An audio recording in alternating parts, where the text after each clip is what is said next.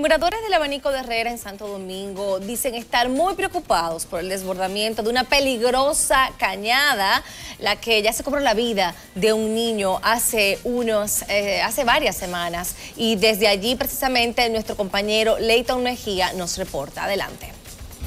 Muchísimas gracias, muy buenas tardes. Efectivamente, aquí me encuentro en el abanico de Herrera, en la cañada eh, que se está desbordando ya definitivamente, como ustedes pueden ver, eh, van a ver en unos minutos en sus pantallas, la gente está aquí muy asustada y muy preocupada a propósito de los efectos del huracán Matthews que está azotando algunas zonas del país. Y esta cañada ya se ha desbordado y tenemos algunos residentes por aquí que nos van a dar su opinión, caballero, dígame esta cañada, que el peligro que representa. Esta cañada representa mucho peligro para nosotros, porque el agua de la 27 nos la están tirando todita para acá.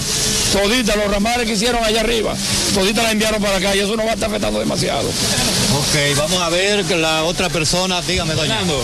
Eh, le damos un segundito, por favor, para que ella pueda. El, el problema de nosotros es que la cañada que nos está afectando, porque todo lo desagüe de la 27 nos lo han mandado para acá. Queremos que una ayuda rápido, porque estamos en peligro, aquí no se duerme a ninguna hora. Y déjeme decirle que en el gobierno de Lionel, Canadá mandó el dinero para taparnos la caña y le taparon a los riquitos. Así que esperamos una ayuda rápidamente. Aquí se le hace un, llamamiento al gobierno de la República, Danilo Menida, que trate lo más posible de resolver este problema, porque ha habido vida, vida humana, pérdida aquí. Esta es la situación, si podemos decirle al camarógrafo Víctor, por favor, que haga un paneo ahí donde está el agua de esta cañada. Vamos a ver, los niños déjenos ahí, por favor. Miren cómo está esta cañada que está empezando a desbordarse.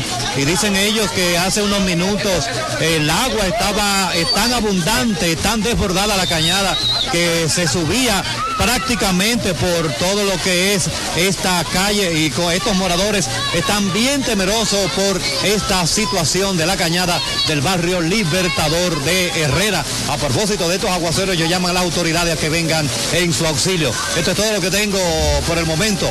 Ahora regreso contigo a los estudios. Muchas gracias, Leighton. Bueno, pues ojalá que este llamado sirva para que realmente se preste la debida atención en esa zona.